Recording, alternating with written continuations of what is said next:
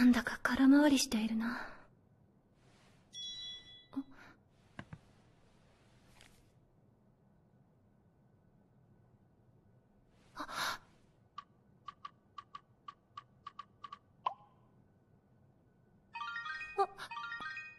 はいスミソラです。突然電話してごめんね。最近ゆっくり話せてないけど元気？はい元気です嘘だ。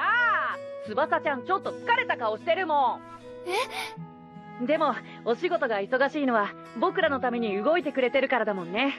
翼ちゃんに会えなくて寂しいけど僕たちいつも一緒にいる気持ちで頑張ってるよ。翼落ち着いたら俺とゆっくりカフェデートでもしよう。リラックスできるおすすめのところがあるんだ。ほらゴーシもなんか気の利いたこと言いなよ。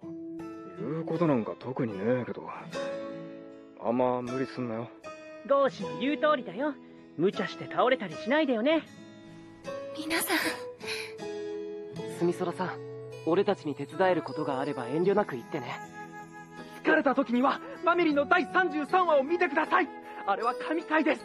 見ているだけでパワーがみなぎります。いや体力を回復するには糖分とタンパク質だ。消化にいいものを食べて。あもう二人ともアドバイスが独特すぎだから翼ちゃん朝ごはん食べる余裕がなかったらバナナがおすすめだよ。翼みんな味方だ。ああやっと会えた。もうすっごく翼不足だよ。また一緒にお茶が飲みたいです。翼ちゃんがどこにいても安心できるよ。俺たちもめっちゃ気合い入れて仕事してるから。ね弥勒現場で会いましょう。お待ちしてます。いや何それ。硬すぎるでしょ忘れないで。B プロは翼も含めた15人だってこと。俺たちはいつだって一つだよ。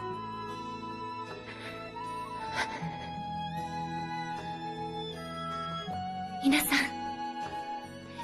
ありがとうございます。すごく元気が出ました。